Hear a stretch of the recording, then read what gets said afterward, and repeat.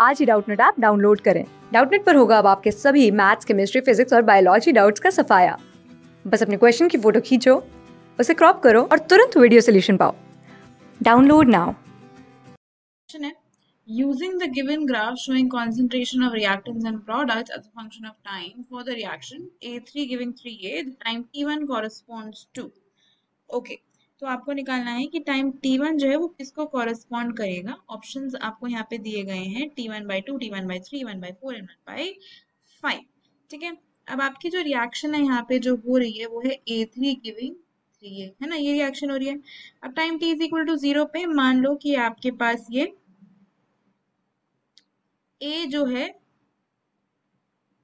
इसकी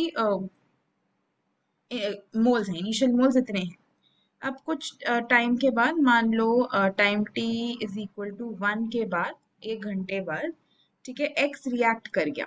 तो इसका कितना बनेगा? थ्री एक्स बनेगा स्टोशियोमेट्री के अकॉर्डिंग अब टाइम टी वन पे, ठीक है टाइम टी वन पे जो आपको यहाँ पे दिया गया है, इस केस में जो रिएक्टेंट और प्रोडक्ट है, उसकी जो कॉन्सेंट्रेशन है, आप कह लीजिए, जो उसके नंबर ऑफ़ मोल्स होंगे, वो क्या हो जाएँगे? सेम हो जाएँगे। ठीक है तो यहाँ से क्या आ जाएगा आपके पास?